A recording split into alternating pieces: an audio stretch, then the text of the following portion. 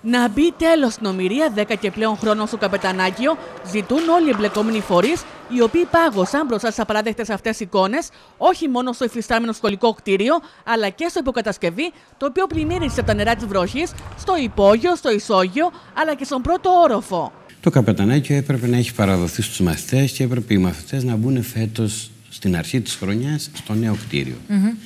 Έτσι, αυτό είναι το πρώτο το οποίο το λέμε, το έχουμε πει πολλές φορές, έχουμε κάνει και εμείς τις παρεμβάσεις μας και στο Δήμαρχο και ο ίδιος στην εταιρεία. Ε, τώρα, από εκεί και μετά, το σημερινό φαινόμενο ήταν απόρρια βεβαίως μιας κακοτεχνίας. Δηλαδή, πώς είναι, όταν έχεις τέτοια ποσοστά βροχής και δεν έχεις βάλει τα τζάμια, σε ένα κτίριο, είναι φυσιολογικό ότι θα γεμίσει νεαρά το κτίριο. Εχθές μου είπε, ας πούμε, ο μηχανικός εδώ ότι το πρόβλημα είναι ότι δεν παίρνουν τα τζάμια, γιατί δεν πληρώνονται, γιατί ο Δήμος κολυσιεργεί. Εικόνες ντροπής, πραγματικά. Έχει πλημμυρίσει και η πολλαπλών.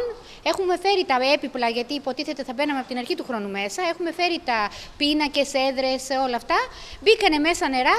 Το πλαίσιο, το μεταλλικό πλαίσιο του πίνακα θα σκουριάσει μέχρι να τοποθετηθεί εδώ πέρα. Για το σύγχρονο γεωφύρι της Άρτα υπάρχουν διαχρονικές ευθύνες. Υποστήριξε τόσο ο Γιώργος Σερζάκης όσο και ο Μανώλης Συντιχάκης στην εκπομπή Κρήτη σήμερα με την Νικολέτα Σφακιανάκη. Και προφανώς υπάρχουν ε, πολιτικές ευθύνες ε, και της ε, Δημοτικής Αρχής διαχρονικά, όχι μόνο της ευθύνη.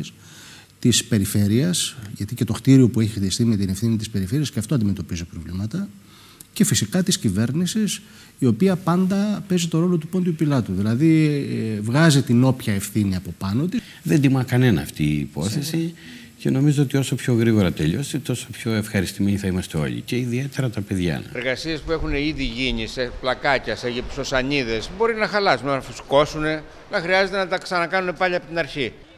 Ενώ στο ερώτημα γύρω από τις μεγάλες εκτόσει έργων, ο Μανώλη Συντιχάκης απάντησε. Η σύμβαση για το καπετανάκιο ξεκίνησε πέρα από τις καθυστερήσεις mm. στι 300.000 ευρώ περίπου. Σήμερα έχει φτάσει στο 1 εκατομμύριο. Προφανώς αυτή η πολύ μεγάλη απόκληση δεν είναι μόνο στο καπετανάκιο. Αν πιάσουμε πάρα πολλά έργα στο Ηράκλειο και πανελλαδικά, υπάρχουν πάρα πολύ μεγάλες εκτόσει. Δηλαδή να καταγράφεται ένα αρχικό ποσό ενός έργου και να καταλήγει το υπερπολαπλάσιο με τις μεγάλες εκτόσεις που δίνονται στα έργα κτλ. Mm που προφανώς αυτό αποτελεί και ένα σκάνδαλο. Από Δευτέρα οι μαθητές του γυμνασίου θα κάνουν κανονικά μάθημα καθώς επισκευάζουν τις ζημιές στο υφιστάμενο κτίριο, το οποίο μάλιστα ανακαινήσει πριν από λίγα χρόνια, γεγονός που προκαλεί δεκάδες ερωτηματικά. Δεν έγινε σωστή προεργασία με αποτέλεσμα να έχουν φύγει πλήρως και οι σοβάδες τώρα ετοιμάζονται να φύγουν.